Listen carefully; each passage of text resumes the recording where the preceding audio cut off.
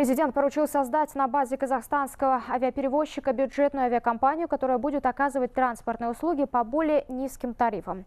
Какие воздушные суда будут у лоукостера, когда планируется первый рейс и какой сервис ждет пассажиров, совершающих полеты по низким тарифам. Все подробности доступных полетов узнаем у Аскара Сергалеева.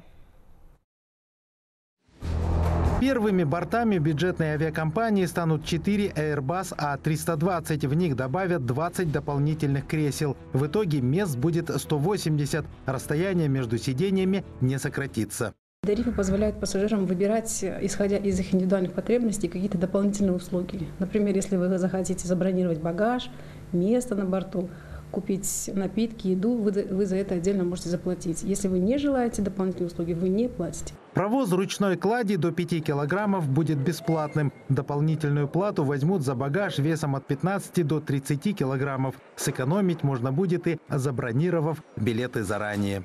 Запуск первых рейсов планируется а, во второй половине 2019 года. Соответственно, продажа откроется к весне, э, к марту. Наша задача это объединять людей, предоставляя им надежное путешествие вне зависимости от статуса, от доходов, от возраста и тому подобное. Сначала самолеты бюджетной авиакомпании будут летать только в крупные города Казахстана. К 2022 году Лаукостер планирует закупить 15 воздушных судов. После этого расширится и география полетов. Оскар Сергалиев, Эдуард Кон, Хабар 24, Алматы.